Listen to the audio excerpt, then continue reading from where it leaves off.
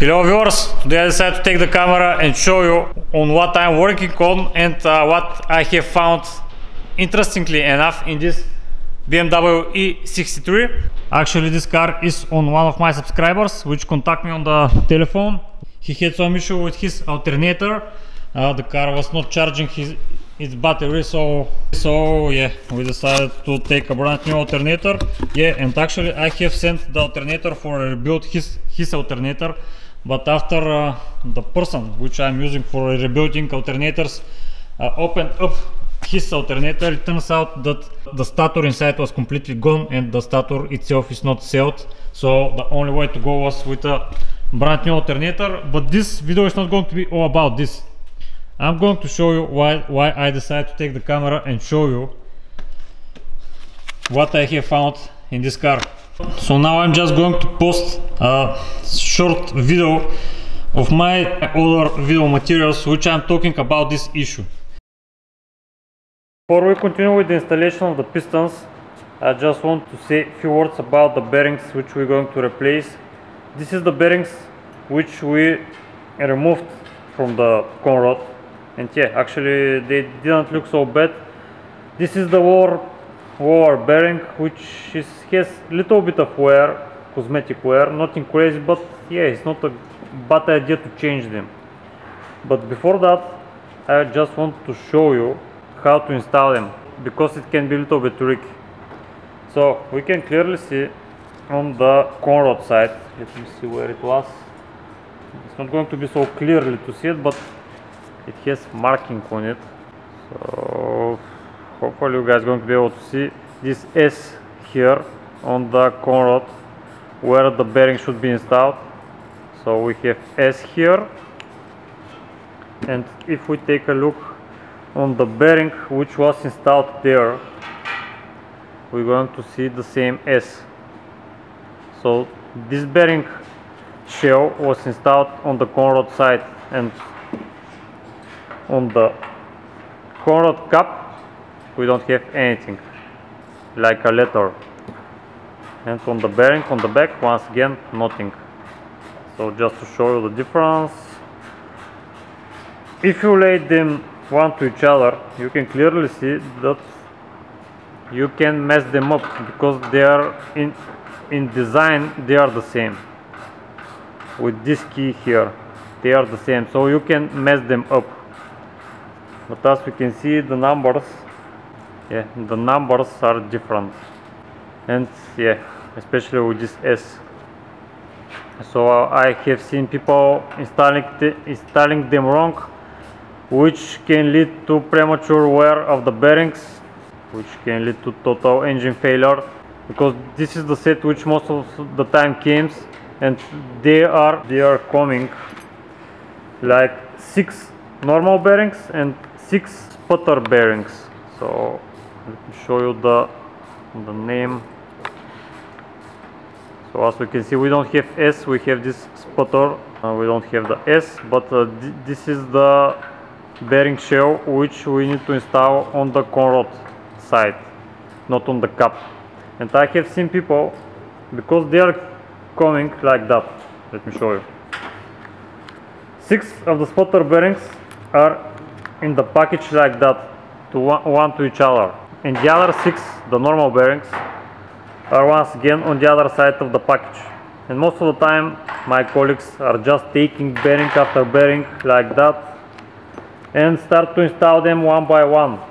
So as I told you they they going to fit without any problems because this key is identical on the both bearing shells. And I have seen colleagues of mine that have installed bearings like that two sputter bearings on one conrod and two normal bearings once again on one conrod. Okay, as we saw, I was talking about, yeah, the conrod bearings and here are brand new bearings, Kolbenschmidt, yeah, the part number is, is this one. So, as we can see, we have 6 sputter bearings and 6 normal bearings. The normal bearings should be installed on the cap of the conrod and the sputter bearings should be installed on the conrod itself, on the top part. Because the top bearing has much more load than the bearing is installed on the cap. As we can see, this is sputter bearing. And now I'm going to remove the bearing which was installed on the cap and once again sputter bearing. So yeah.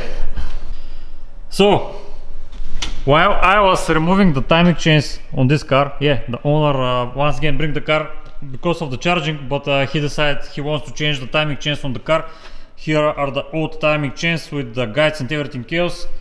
I saw that someone previously before the owner bought the car has worked on this engine. By work on this engine I mean he have removed the the cylinder head. He have done some other jobs which I didn't like a lot but uh, yeah for sure this engine have seen some rebuild of, of some kind. That's why I decided to remove the conrod caps because of this really known issue of my colleagues which are making by issue I mean mistake installing the sputter bearing on the bottom cap and not on the top. So I am not sure and the owner I am not sure if he's sure when when the rebuild have have been done so we're not sure on how many mileage these bearings are uh, but still they are not spun or anything like that. I'm just going to show you. This is one of the normal bearings. And this is one of the sputter bearings. So I'm just going to show you the difference.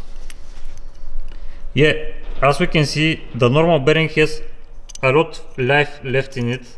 But still just to show you the difference between the two bearings you can clearly see the wear on the normal bearing and the condition of the sputter bearing. It's like a brand new one so the reason this happened is once again because of some colleague of mine have decided to install the normal bearing on the top of the con rod. so I have found out, yeah, I haven't removed the six con rods because I don't have access to the other two ones, but as I'm telling in the video, probably he took the bearings two by two and he started installing them on a con rod after con rod. He didn't notice that there are different types of bearings. So that's why we have two sputter bearings on one con rod and two normal bearings on one con rod once again. So which means on cylinder number 1, 2 and 3 he have installed normal conrod bearings and on cylinder 4, 5 and 6 he have installed only sputter bearings. So I'm not sure how much this engine was going to last like that. It's going to be really interesting experiment but still it's going to be from engine to engine and oil to oil. Uh, but still I believe we saved this engine from a spun conrod bearing because for sure this bearing was not going to last so long like the sputter bearings. As we can see they are like a brand new ones without any wear on them. It is just a lucky owner uh, because I have spotted this. I just decided to remove one of the the conrod bearings. And uh, yeah probably it was lucky to me because I decided to remove on cylinder number 5 the lucky guess was because the previous engine builder decided to install the sputter bearing on cylinder number 5 on the on the cap on cylinder number 5 and that's that's when I understand that he, he have made this mistake. So now I'm going to install brand new bearings, conrod bearings.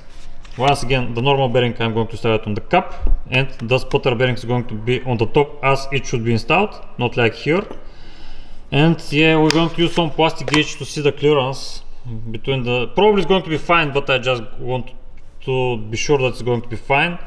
So I'm going to start the new bearings with plastic gauge. We're going to see what is the clearance and uh, yeah, I have bought some new bolts for the conrods. Uh, and yeah, I have checked one of the main bearings. It has small amount of wear, it's not like a brand new one, but at least it's original one. Uh, so hopefully it's going to last for a long period of time. But yeah, the main issue is the conrod bearings. Okay, so we test fitted the four conrod caps to see what is the clearance. Now I'm going to show you. Yeah, we have left with uh, four bearings, two sputter ones and two normal because uh, I'm not able now to remove uh, the caps on cylinder number 1 and 6. Just to show you underneath, this is the marks of the plastic gauge. Now I'm going to show you how is the clearance.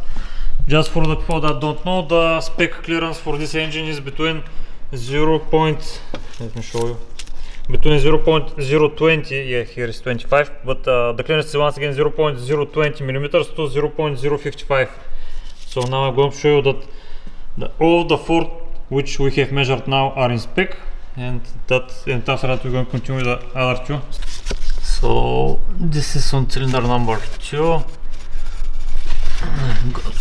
a bit hard to show you but it's between 0.38 0.038 and 0.50 Сега ще моля да светлината малко по-насам, защото тук прави сянка.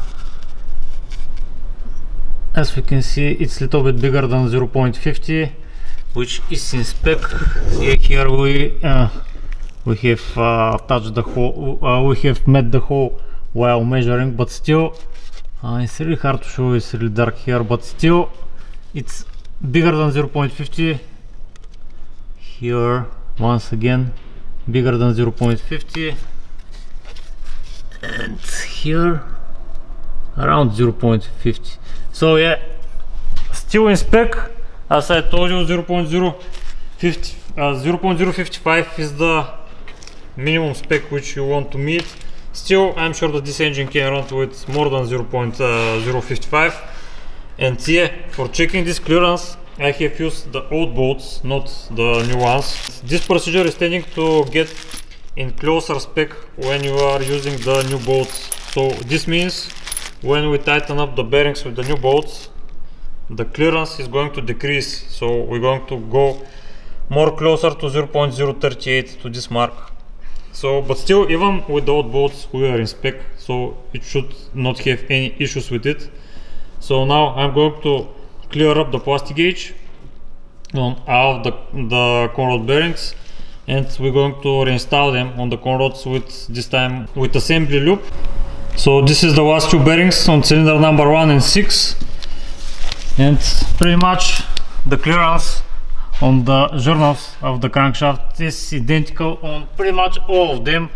As you can see I have installed brand new bolts on the conrods and now we're going to end up putting some assembly lube on the journal. And we're going to reassemble the last two conrods and we're going to continue with our lives with changing of the timing chains which once again this uh, car going to receive. This is all the parts that the owner wants to to change so he wants to maintain his car as good as possible. That's why he bring it to me. We have bought a lot of OEM parts so yeah I know this car is getting colder but it still is expensive to maintain it. So yeah there's a lot of things which you're going to want to change if you if you want this car to be reliable. That's why we're doing it. I just wanted to show you this part of the video where I saw that there is big issue in the engine. Okay so this is the last two bearings on cylinder number 1 and 6 once again on the 6 was sputter bearing on number one was normal bearing. Once again on the top of the conrod so we can see the difference in wear pretty obvious. And yeah i'm going to end up with uh, with the video about how i knew that this engine was involved in some major repair it's pretty easy to know by just looking the cylinder head bolts. As we can see it's pretty obvious that they are brand new cylinder head bolts they're installed so by this you can know that the cylinder head have been removed for some reason. And yeah pretty much I'm going to end up the video here. I'm pretty pretty much ready with installation of the timing chains with all the brand new parts and everything. I'm just going to install the cover and I'm going to be ready with this timing chains. Uh, but uh, this video was all about the conrod bearings and uh, to make note of it. So okay guys. I'm going to end up the video here. Hopefully it was helpful for some of you. Thank you for watching and see you in the next video